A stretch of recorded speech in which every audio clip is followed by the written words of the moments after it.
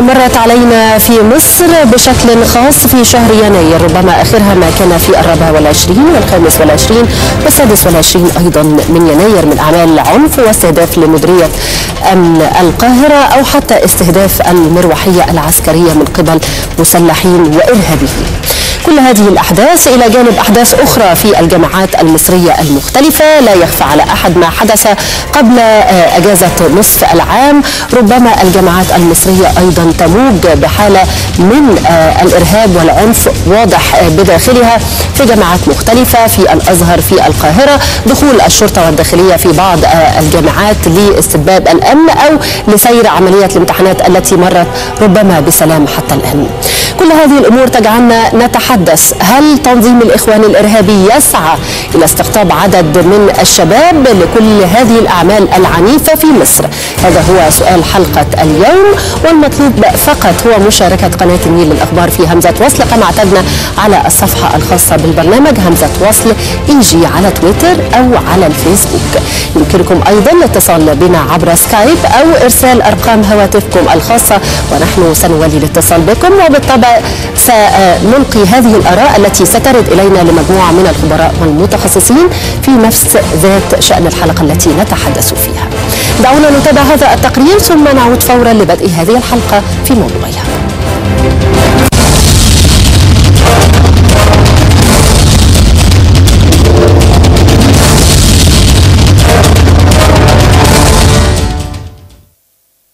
عقب فشل جماعة الإخوان الإرهابية في السيطرة على مجريات الأحداث في الشارع المصري مستخدمة ذراعها العسكري الممثل في جماعة أنصار بيت المقدس وما أحدثه من تفجيرات على مدى الأيام القليلة الماضية بدأ تنظيم الإخوان الإرهابي في الدفع بالكوادر الشبابية لصدارة المشهد من جديد. ففي الوقت الذي كانت تحتفل فيه جموع المصريين بالذكرى الثالثة لثورة الخامس والعشرين من يناير شهد عدد كبير من ميادين البلاد مقتل العشرات إثر اشتباكات بين مؤيدي خارطة المستقبل والإخوان من ناحية وأعضاء من حركتي 6 إبريل والاشتراكيين الثوريين من ناحية أخرى. وكانت اشتباكات عنيفة قد نشبت بين أعضاء بحركة 6 إبريل والأهالي بميدان عابدين.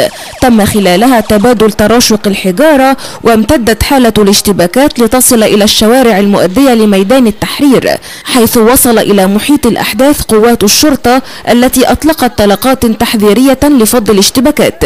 كما ألقت قوات أمن كفر الشيخ القبض على أحمد شوقي المتحدث الرسمي باسم حركة 6 إبريل بالمحافظة أثناء مشاركته في مظاهرات ضد الجيش والشرطة ووجهت له تهم التظاهر بدون تصريح وإثارة العنف. وفي محافظة أسيوط ألقت قوات الشرطة القبض على أحد عشر متظاهرة من بينهم أحمد جمال منسق حركة 6 إبريل بالمحافظة خلال مشاركته في مظاهرة لجماعة الإخوان الإرهابية بدون ترخيص. قامت خلالها بقطع الطريق العام ومقاومة السلطات والاعتداء على قوات الأمن. يأتي اللعب بالورقة الشبابية في ظل قيام طلبة الإخوان في إشعال نار العنف والتوتر بكبرى جامعات مصر فضلا عن محاولتهم استنزاف الأمن في مواجهات يومية لا تنتهي.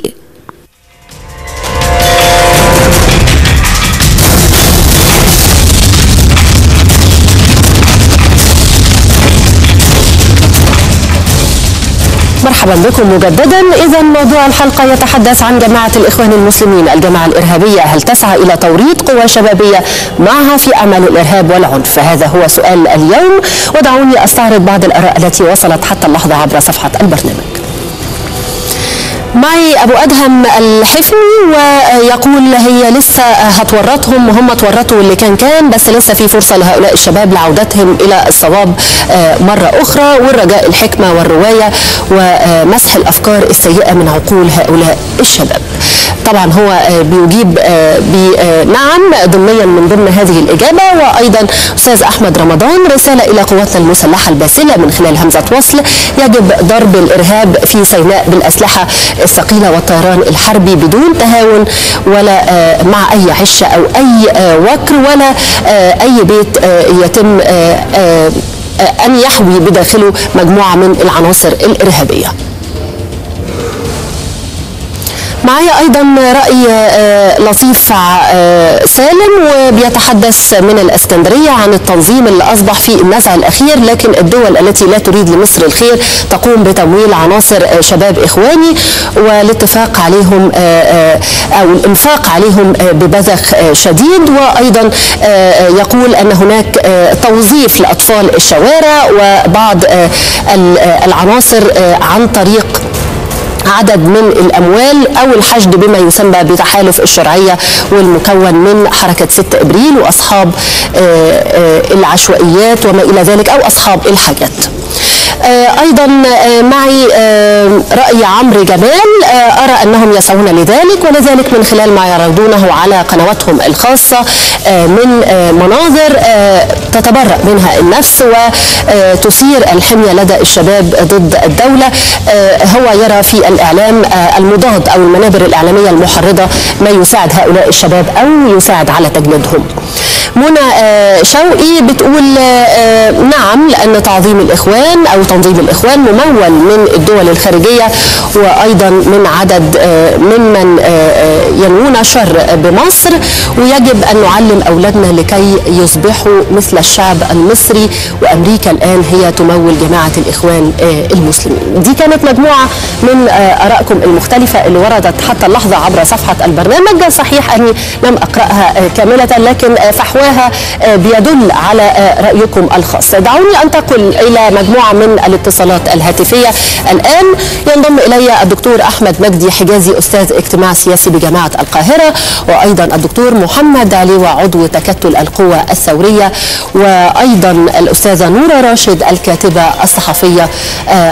أشكركم للاشتراك معنا في همزة وصل ودعني أبدأ معك دكتور أحمد ونتحدث عما حدث في مصر. في الثلاثة أيام الماضية سواء من أعمال عنف أعمال إرهابية وأيضا في المقابل حشود جماهيرية نزلت رغم أنف الجميع للاحتفال بذكرى الثالثة لثورة 25 يناير.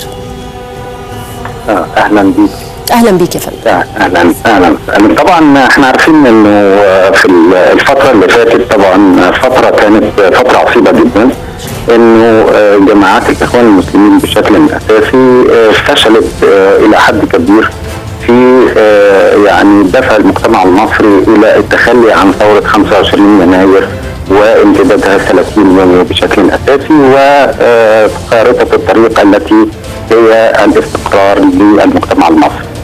أنا أعتقد إنهم عندما فشلوا في الحصول على ما كانوا يتمنوه في يعني البقاء في سدة الحكم إلى ما لا نهاية وفقا لنظرياتهم بشكل أساسي. أنا أعتقد إنه بدأوا يبحثوا عن كل السبل المختلفة للسيطرة على الشعب المصري وإنهاكه بشكل أساسي. وانهاك القوى الأساسية اللي هي الجيش الوطني الحر والشرطه التي عادت إلى المجتمع المصري بشكل عام لمسانده الثورة بشكل اساسي. نعم إلى إلى ما ستؤول كل هذه الأعمال الإرهابية التي يحاولون بها دائما إثبات أنهم ما زالوا متواجدين على الساحة على الرغم من العداء الشعبي الواضح لهذه الجماعة الإرهابية ومقاومتها مش بس فقط من ناحية النواحي الأمنية المختص بها الداخلية أو القوات المسلحة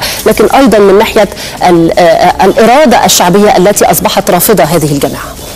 الحقيقة طبعا هم يعني نجحوا بشكل أساسي في العداء الذي وصل إلى كثير من فئات المجتمع المصري بشكل أساسي.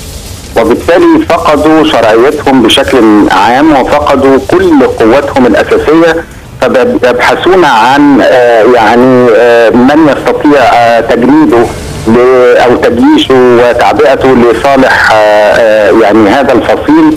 ولصالح القوى الإسلامية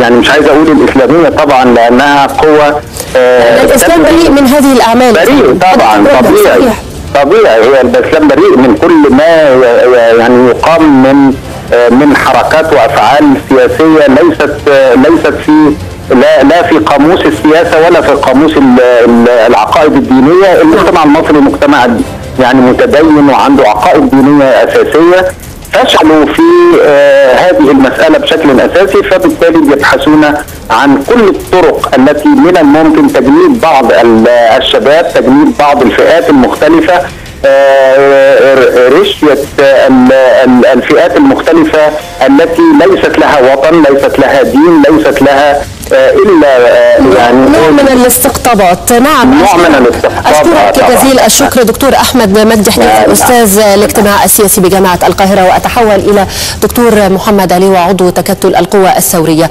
دكتور محمد بعد التحية ما زلنا نتحدث في متن حلقتنا على هل الجماعات الإرهابية جماعة الإخوان المسلمين تحديدا نجحت في استقطاب عدد من القوى الشبابية سواء من آه، آه، ممن ضاقت بهم سبل العيش سواء ممن آه، تركوا عقولهم لهذه الجماعات والغسيل آه، آه، الذهني لما يقومون به أو غسيل الأفكار لهؤلاء الشباب.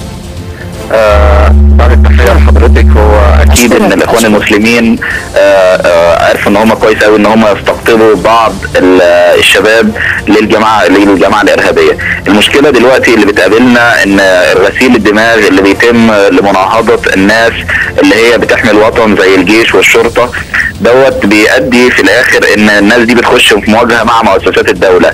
آه، جماعة الإخوان المسلمين آه، التنظيم بتاعها المكون من 700 ألف واحد واللي تم القبض دلوقتي على 15 ألف واحد ما زالت متواجدة في في بعض الجامعات.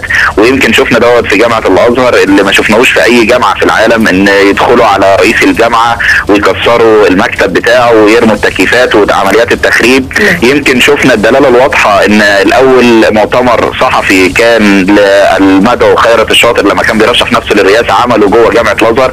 نتيجة الاستقطاب الإخواني القوي اللي جوه جامعة الأزهر بنشوف بعد كده هو إن بعض ال- الحركات الشبابية زي الاشتراكيين الثوريين وزي 6 إبريل انضمت بالفعل إلى تنظيم الإخوان المسلمين وصدقيني يا فندم أنا عايز؟ لحضرتك السؤال لماذا؟ لماذا هذه بعض بعض من بعض من هذه؟ بعض من هذه الحركات بيتم تمويله عن طريق الخارج بعض منهم بينتمي إلى فئات فقيرة فبيعجز أمام رأس المال اللي بيتم ضخه عن طريق آه، قطر أو عن طريق تركيا إحنا شايفين إن التنظيم الدولي راصد 3 مليار دولار لتخريب البلاد ولهدم آه، ثورة 30 يونيو. آه، بشوف إن دوت آه، كان أصلا بعناصر مندسه من الإخوان المسلمين جوه الاشتراكيين الثوريين. هل تعلمي أن مثلا محمد البلتاجي كان من ضمن تنظيم الاشتراكيين الثوريين؟